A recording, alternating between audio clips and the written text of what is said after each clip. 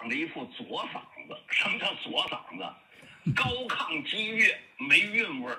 说的好听点儿，就有点像驴叫唤似的啊，大驴嗓子啊，嗓门挺大啊，音儿挺高，但是没韵味儿啊，直冲冲就喊出来了。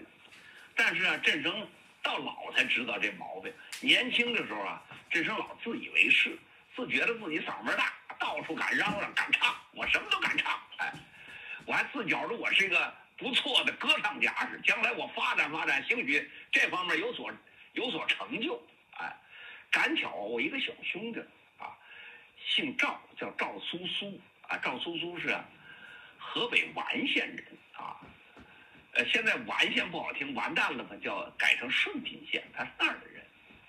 他父亲呢，是中央音乐学院声乐系教授啊，专管声乐教学的，有名的赵登营教授啊。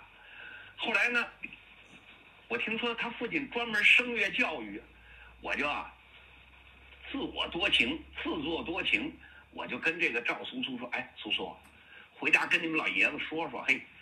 我哪天到他那，让他给我听听，看看指导指导我哪些地方需要改进，我将来也许能成为歌唱家呢。赵苏说：“行吗？哎，这这咋不行啊？让你爹给听听，你给提提提意见。也许我这一颗苗子让老爷子给发现了呢，也许我就成了将来的歌唱家了呢。”这赵苏苏啊，扑哧一乐，心里话，有见过无耻的，没见过你这么不要脸的人，你这么不要脸的人，哎。我还真拿自己当当颗葱当颗菜了。我那天就跟赵苏苏啊，到他们他们家在哪儿？就在向来街，向来街北面中央音乐学院就在那里头住。我就去了，去了以后呢，提前赵苏苏跟他爸赵登营赵教授都说好了，哎，给我找了个音乐教室啊，那那回音都特别好啊，哎，就把我叫去了，然后也不客气，赵教授还挺忙，就说你唱吧，你你唱两句我听听啊。我进去之后啊，过去老话“初生之犊不畏虎”啊。那时候我才十几岁啊，不知山高水低，也不知这个，也不知道害臊，也不知道怕，哎，就往那一站，嗓门就亮开了。我就唱了一首当时啊流行的啊革命歌曲，叫什么呢？我是贫农的好后代。哎，各位不筋不灵有心脏病的，赶紧把药吃上，别 让这人问吓着啊！哎，我那时候张嘴就来，我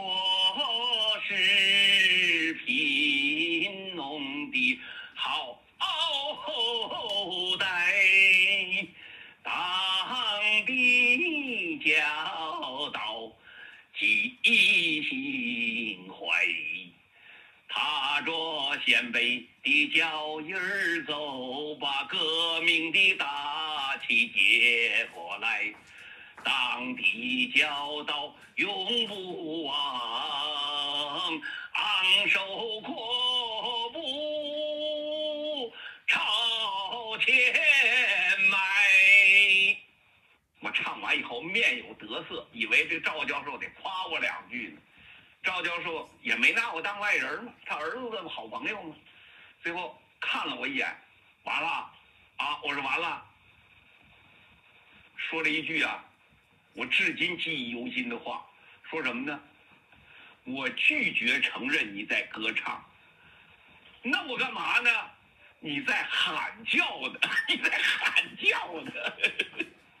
他倒不客气，哎，说你啊，唱歌是不行了，你干什么去啊？将来京剧有一个流派啊，就是这个高派高庆奎那派啊，哎，你你跟他学京剧去得了啊。你还真别说，那还人才辈出。高庆奎呀，老先生有个学生叫李和曾啊，就是继承了他那高派的唱腔啊。这李和曾啊，当时啊，在北京城里，人称叫野驴，野驴又高又亮，就是没韵味儿，左嗓子直喊，哎，就这样所以在北京城里啊，卖不出票去，没人买，最后怎么办呢？就让他去跑那乡下草台班子，到农村，哎，到农村演出去，那个好啊。有没有剧场？荒郊野地上，你嗓门低了，你嗓门小了，外头还听不着呢，就这个直嗓大喊，效果还不错。哎，你还真别说，在农村呢挺受欢迎。那年呀，也该着他走运，碰上了八路军。八路军两个说法，一个是陈再道的部队，还有一个说法是邓华将军的部队。这两位老领导据说都是京剧爱好者，尤其是邓华将军，酷爱京剧。听了两回之后啊，就下了决心了。哎哎哎，别走了，别走了，参加八路军吧，参加八路军吧。你们还是个剧团，算八路军的京剧团，给我们战士演出去吧。哎，这李和曾就下了决心了，就把这人呢给并到了八路军里了。后来啊，跟着在这晃了几年，北平解放的时候，他又回到了北京。这回可大不相同喽。京剧界，他算老革命、老党员、老八路，这这还得了？哎，他就成了这个经济界的军代表，以后中国京剧院的院长。好像那个原来有个电影叫《追鱼》吧，里头那个评剧演员李一兰，哎，那长得真漂亮，那就是他的夫人，啊，李和曾的夫人李一兰，哎，呃。赵教授的意思说：“你最好就 跟他学这派就得了。”我一乐，我说：“行，赵教授，到底是知识分子，不伤我面子，还给我找个地方。我当时年轻啊，现在醒过闷儿来了。那时候还真以为夸我的，我还挺高兴。我就跟赵苏说：‘啊，苏苏，走走走走走，跟我走，跟我走，干嘛去？我请客，我请客。’那时候啊，西单呢路口有一个一个小门脸儿，叫为人民服务，就这么几个字儿。”那是哪儿的牛奶公司的一个销售点儿，那卖什么呢？卖酸奶。现在酸奶不值个钱，满街桶都是。那时候好，一个小瓶子，拿个纸，拿个皮筋绷上，那一个酸奶，能喝酸奶的人，那就是很高雅的人了。当时就很，很时髦的事儿了。我就说苏苏，我请你喝酸奶去。然后呢，我们俩骑着自行车就奔那儿就去了啊。当时啊。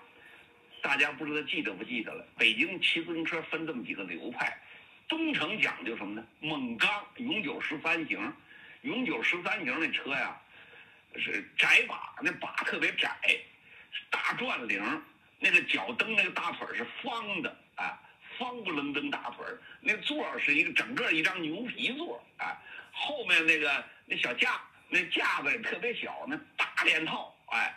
那车呢，中间那根梁啊，很猛的，拿手一弹，嘡嘡的，别是一种声音啊。那大转轮一个，那个车当时标价是一百九十六吧，是一百九十八，反正不是一百九十六就是一百九十八。哎，那时候你有钱，你拿三百块钱你买不着，那都得是特批啊。所以，东城的城里的有身份有地位的人都骑这个，哎，西城的。讲究骑什么呢？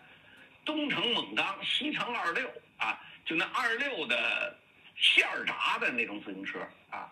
海淀讲究大船车，叫大杂牌子，因为什么呢？